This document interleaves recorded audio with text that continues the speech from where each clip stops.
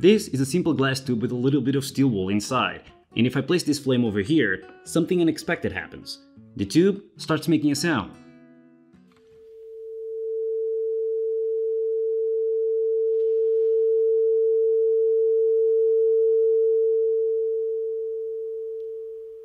So freaky. This happens because the tube is long enough to create a temperature difference. The air gets hot, expands, and spreads out through the tube. Then it gets cold and contracts again. This process repeats itself and creates a vibration. Sound. This is only possible because the air is elastic. You can compress it and stretch it. You can visualize the oscillation by merging this glass tube with another tube with water. As you can see, the vibration makes the water oscillate. What do you think would happen if we added some fuel to the mixture? This is a jar of Moroccan style meatball sauce. It's pretty good, but it's also the exact right geometry to do something pretty interesting. If you remove the label, drill a 10mm hole on the lid and pour some alcohol inside, this all of a sudden becomes a jet engine.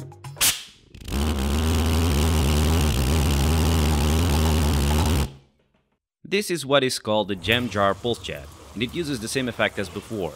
The alcohol fuel mixture burns, heats up, expands, cools down, contracts, and pulls more air inside, which inevitably mixes with more alcohol and burns again.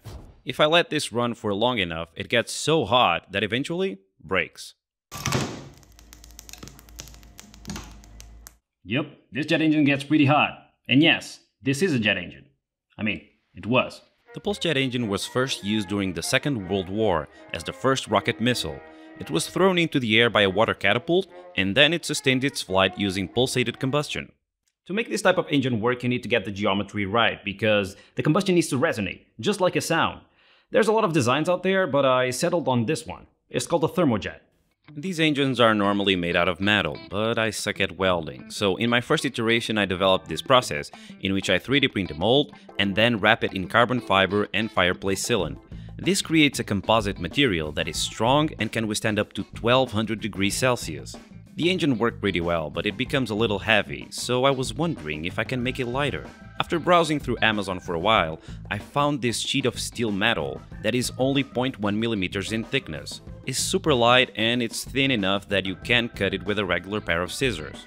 Even though it's pretty thin, it can take heat pretty well, so I was thinking I could use this to make a pulse jet engine. Like I said before, I'm not very good at welding, but there's a type of welding that even I can do. It's called spot welding. Spot welding is this type of welding, where you weld a thin sheet metal on just a spot by passing a high current through it. Using some pliers and some brass rods, I made one myself, and it works.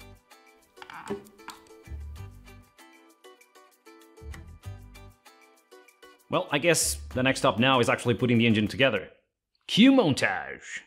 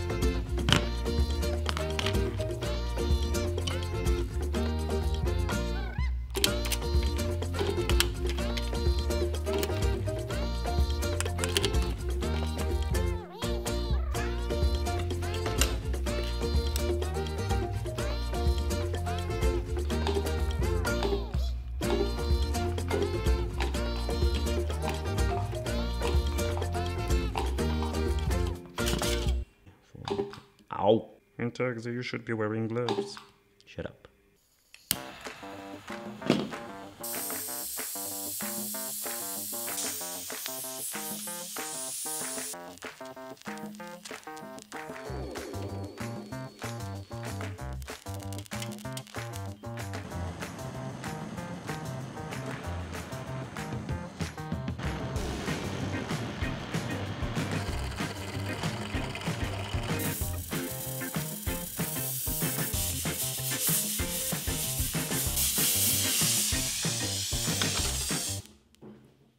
Ready. Let's see how much it weighs. 255 grams. Okie dokie, the pulse jet engine is ready, and now comes the hard part, which is to start it. If I'm lucky, it's gonna start the first try, but normally it doesn't. Um, to start a pulse jet engine, you kind of have to become the pulse jet engine. And you also need um, compressed air and a lighter. So let's give it a go.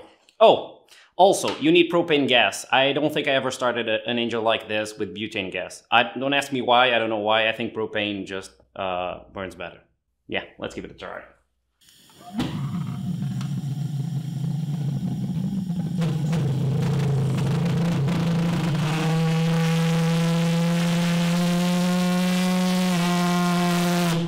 Oh!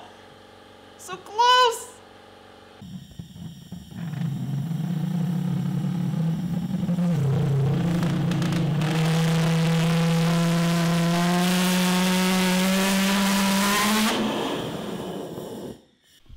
Yeah, the engine opened up here. So the engine got hot enough to melt the steel. It busted open. To try and seal the leak, I used fireplace sealant and carbon fiber, just like in the good old days.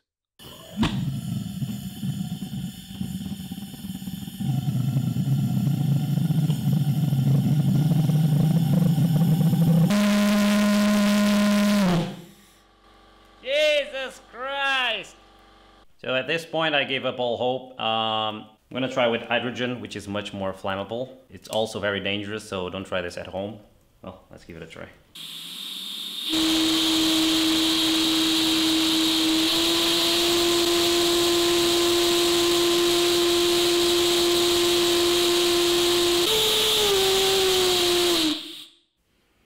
The engine did run, but it ran on hydrogen. And in my book, that's cheating because, well, everything runs on hydrogen. Hydrogen is very flammable. I think my lack of success is owed to the fact that I'm not very good at metal working. But do you know what I'm good at? 3D printing. I 3D printed a jam jar pulse jet in PLA, and it did work. A few moments later. Well, I give up. It's not melting. I mean, it is mushy. Whee! Whee! Yeah, I mean, it's deforming, but uh, it didn't melt, which is quite impressive. what I need is to 3D print a pulse jet engine in metal, but I don't have a metal 3D printer. So I called in a favor with my friend Bob at K3D. K3D is one of the most advanced companies in metal 3D printing, and luckily for me, Bob is my friend. I put together a model of a simple pulse jet engine and I sent it to Bob, and a few days later, it just arrived on the mail. Look at it! It's so cute! It's a metal 3D printed pulse jet engine. A tiny one. Can barely wait to hear it roar. Or in this case, probably purr. But anyway, uh, I first need to add a fuel line, so let's do that.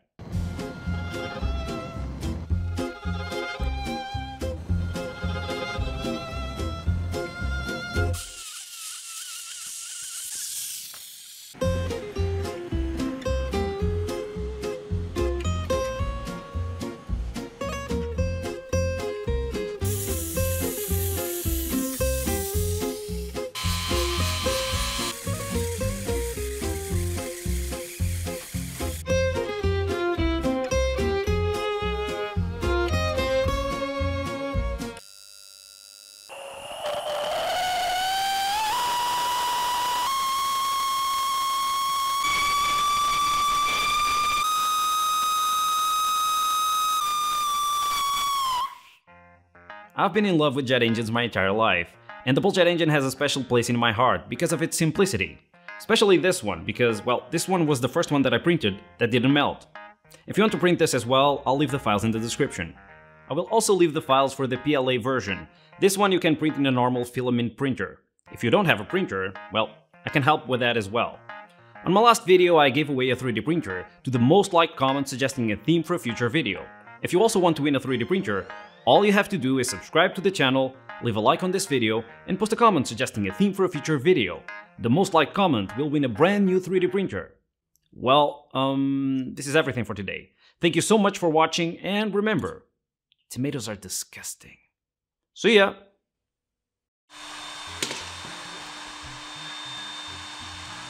Why am I not wearing gloves? Cause I'm stupid! All done. Who needs gloves? I got burned fingers. This is a